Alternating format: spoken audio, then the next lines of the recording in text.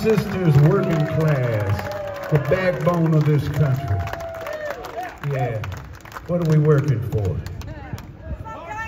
The families that own the Federal Reserve, the European central banks, and the Bank of England.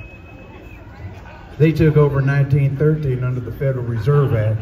Woodrow Wilson, who was the president at the time, said he was a traitor to this nation for what he did by signing that in.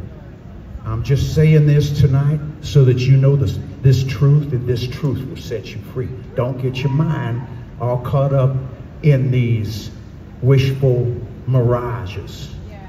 It's all a mirage because nothing is as it appears to be. Let those with ears hear what I am saying to your soul.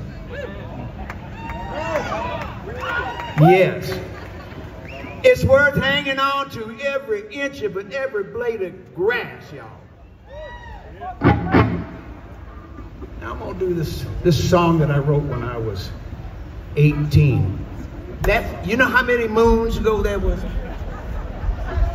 You know who Dick Wagner is, don't you? Guitar player for Alice Cooper. Oh yeah, badass Dick. He wrote Only Women Bleed. He wrote all kinds of songs.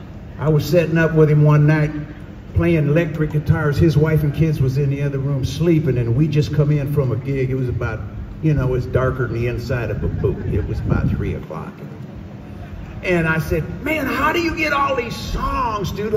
How do you write all these songs? He said, they're inside.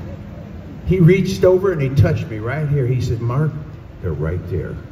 And when he touched me, it went bang. I fell dead. No. he went to bed and I sat up and I wrote this song.